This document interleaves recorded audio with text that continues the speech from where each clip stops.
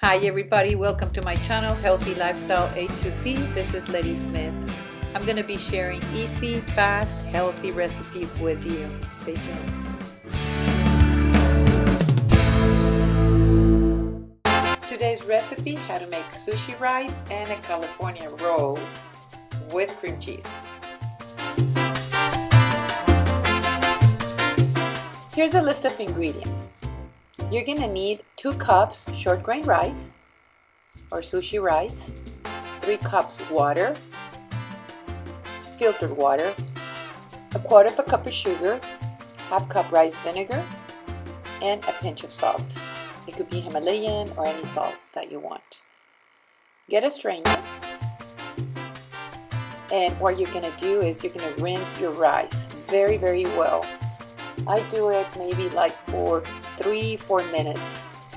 And I use hot water and I rinse until the water comes out very, very clear. Get your rice cooker ready. You're gonna add your rice and your water.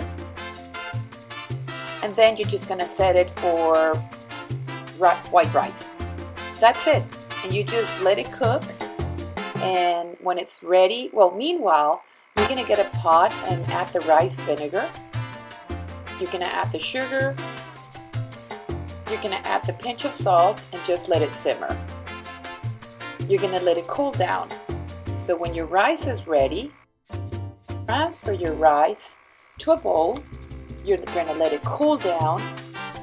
Add your rice vinegar mixture. You're going to mix it very well and be sure not to skip this step because this is very important in the consistency of your white rice. And what I'm going to be showing you today is how to make a California roll, but it's a little bit modified because I like cream cheese. And so I just added some cream cheese. So here's a list of ingredients for your sushi roll. This makes eight sushi rolls.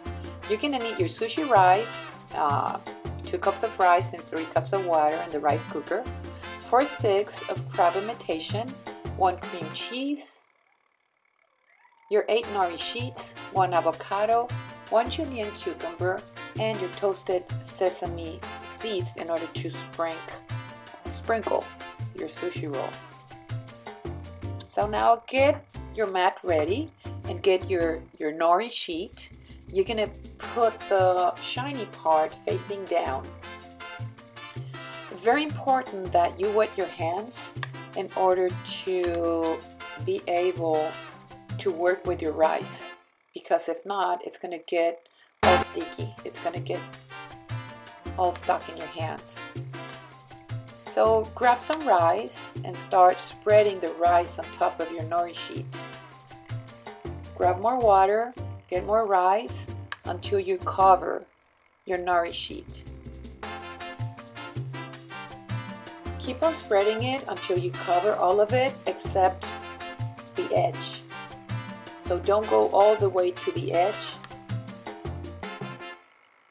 And that's when you're going to sprinkle your roll with the sesame seeds. Turn it over. Once you turn your nori sheet with the rice, you're to start adding all your the rest of your ingredients. So cut your cream cheese. Also, you need to wet your knife. If you don't wet it, it's gonna get all stuck in your in your knife. Make sure you have a very sharp knife in order to cut your sushi rolls and to cut your cream cheese.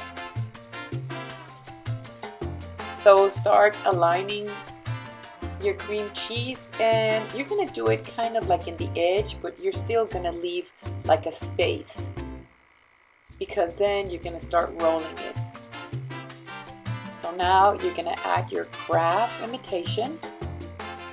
You're going to add your cucumbers. You're going to add your avocado. I love avocado. Make sure you leave some bamboo on the upper part because that's going to be that's going to go over your sushi roll. So what you're going to do is tuck it. You're going to roll it and tuck it in. And then you're gonna roll it again and then squeeze. You're gonna put some pressure on it. So you're you're making uh, like the shape of your sushi roll. And then you're gonna roll it again tuck it and squeeze it again put some pressure. And you're gonna repeat that until you finish making your sushi roll this is very easy but you need a little bit of practice. Maybe your first roll is not gonna be like wow but then after a while you're gonna you're gonna be fine and you're gonna enjoy making it and then you're gonna try with different ingredients and you're gonna start uh, improvising. And then you can invite your friends over and you can eat all sushi and all be part of it. So you need a very sharp knife and you're gonna wet it you're gonna cut your sushi in half You're to place it together. You're to wet your knife again and you're to start cutting pieces. I will get rid of the edge. Well, I eat them before putting them on the plate because they don't look very appealing. So really, I don't get rid of it.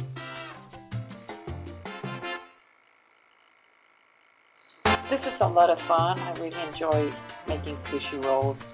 And what I do is I make my sushi sauce and it's just with cocoa aminos and some lemon and that's your dipping sauce. Or you can also make like a spicy mayo with uh, vegetarian mayonnaise and some sriracha or chili garlic and that would be that would taste great too. So here's your sushi roll ready to eat. I invite you to like, subscribe, and share with your friends and family. Next week's recipe is going to be garbanzo patties. And thank you for watching. Stay tuned and see you next time.